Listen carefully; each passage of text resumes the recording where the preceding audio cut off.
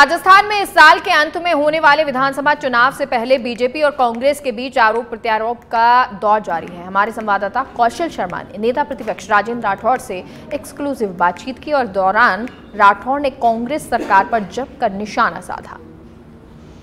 नज़दीक है, हमारे साथ है।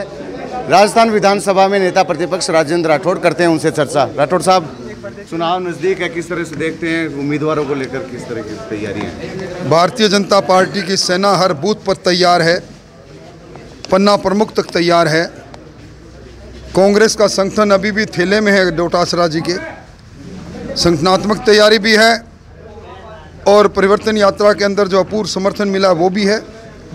कांग्रेस की अब तक की सबसे शर्मनाक हार निश्चित तौर पर होगी। उनकी सरकार के ही मंत्री गुड्डा जी ने आज मुख्यमंत्री को नरभक्षी तक कह दिया है, क्या कहेंगे? इस प्रकार की भाषा को मैं कतई उचित नहीं मानता।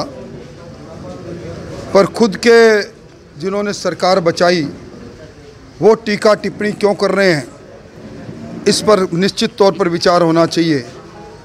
कहीं ऐसा तो नहीं कि मुख्यमंत्री जी के साथ के सारे मंत्री अंदर अंदर विद्रोह किए बैठे हों। जातिगत जो जनगणना की बात कर रही है सरकार अब क्या कहेंगे? सरकार आचार संहिता से एक सप्ताह पहले इस प्रकार का बात कहना। कहाँ गई थी सरकार? केंद्र का विषय है राज्य सरकार कर नहीं सकती पर एक सगुफा चलाना मुख्यमंत्री जी की आदत है। 1931 के बाद जा, जा, जातिगत जनगणना हुई नहीं। बावन साल तक तो लगातार कांग्रेस केंद्र में रही। क्यों नहीं करवाई? किसने मना किया था?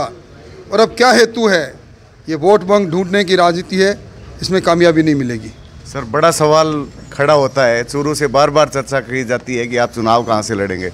जहाँ से मेरी पार्टी कहेगी जिस जगह भी भेजेगी वहीं चला जाऊँगा और दम के लड़ेंगे। यह थे हमारे साथ नेता प्रतिपक्ष राजेंद्र राठौड़ जिनका कहना है कि सरकार फिर से वापसी करेगी और वो चूरू से ही चुनाव लड़ेंगे।